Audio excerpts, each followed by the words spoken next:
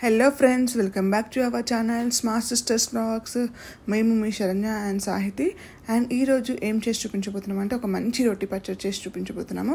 అది కూడా బీరకాయ అండ్ టమాటో రెండు కలిపి రొట్టి పచ్చడి ఎలా చేయాలో చేసి చూపించబోతున్నాము. సో దానికి కావాల్సిన ఏంటి ఎలా చేయాలో ఈ వీడియోలో చూసేద్దాం మనం ఇప్పుడు.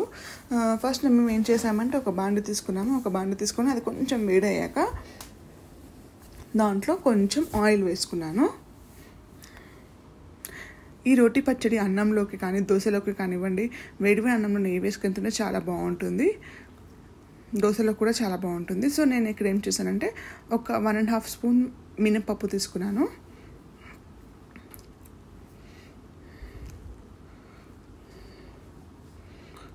So one and half spoon మినపప్పు తీసుకున్నాక కొంచెం జీలకర్ర తీసుకున్నాను. హాఫ్ స్పూన్ అలా జీలకర్ర తీసుకున్నాను. అండ్ నెక్స్ట్ కొన్ని ఆవాలు.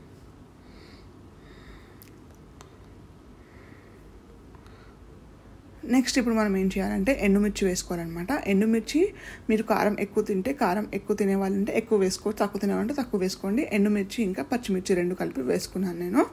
రెండు వేసుకుంటే బాగుంటుంది. మీకు స్పైసీనెస్ ఎక్కువ కావాలంటే ఎక్కువ వేసుకోండి. తక్కువ కావాలంటే తక్కువ వేసేసుకోండి. మీకు రుచి రుచికి సరిపడా వేసుకోండి అది. అండ్ కొంచెం ఇంగువ వేసాను. ఇవన్నీ వేసేసుకొని ఒక రెండు మూడు నిమిషాలు మగ్గించుకోవాలన్నమాట. పచ్చిమిర్చి అవన్నీ బాగా వేయించుకోవాలి. సో ఇక్కడ కొంచెం మగ్గాక నేను ఏం చేశానంటే కొన్ని వెల్లుల్లి రెబ్బలు తీసుకున్నాను. అవి కూడా దాంట్లో వేసి మగ్గించాను.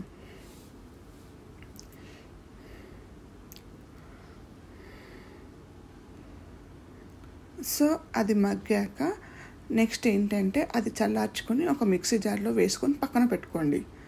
నెక్స్ట్ అదే బాండీలో కొంచెము ఆయిల్ వేడి చేసి మళ్ళీ దాంట్లోనే అదే బాండీలో కొంచెం ఆయిల్ వేసుకొని వేడి చేసేసుకోండి. అండ్ మనం ముందుగా కట్ చేసుకున్న టమాటాలు ఉన్నాయి కదా అది దాంట్లో వేసుకోండి. ఇక్కడ మన ఇక్కడ మనం గుర్తుంచుకోవాల్సిన విషయం ఏమిటంటే మనం ఒకవేళ బెంగళూరు టమాటో అంటే హైబ్రిడ్ టమాటో కనుక యూజ్ చేసినట్టయితే కొంచెం చింతపండు వేసుకొని మగ్గించుకోండి. మనం దేశీ టమాటో అయితే రెగ్యులర్గా వాడే టమాటో అయితే చింతపండు అవసరం లేదు. టమాటా కొంచెం మగ్గాక మనము ముందుగా కట్ చేసుకున్న బీరకాయ. బీరకాయ లేతగా ఉంటే చాలా చాలా బాగుంటుందండి టేస్ట్. సో లేతగా వేయడానికి ట్రై చేయండి. లేత బీరకాయ వేయడానికి ట్రై చేయండి. రుచి రుచి చాలా బాగుంటుంది అనమాట సో నెక్స్ట్ ఇప్పుడు ఏం చేశానంటే త్వరగా మగ్గడానికి పసుపు ఇంకా ఉప్పు వేసాను కొంచెము. అది రెండు వేసేసుకొని మంచిగా మగ్గించుకోవాలి. ఇది అన్నంలోకి కానివ్వండి దోశలోకి కానివ్వండి చాలా బాగుంటుంది. పుల పులగా చాలా బాగుంటుంది. సో అలా రెండు వేసేసి మగ్గించుకోవాలి. ఒక నాలుగు నుంచి ఐదు నిమిషాల వరకు సరిపోతుంది టైం మనకి మగ్గించుకోవడానికి. సో మగ్గిన తర్వాత ఇలా మీకు దగ్గరకు వచ్చేసింది కదా అది మగ్గినట్టు అనమాట సో స్టవ్ ఆఫ్ చేసేసి చల్లారనిచ్చుకొని ఇది కూడా మనము మిక్సీ జార్లో ఇందాక వేసుకున్నాం కదా అది ఇది రెండు కలిపి మిక్సీ పట్టుకోవాలి. సో మిక్సీ పట్టుకున్నాక చూడండి మనకి పచ్చడి అయితే రెడీ అయిపోయింది.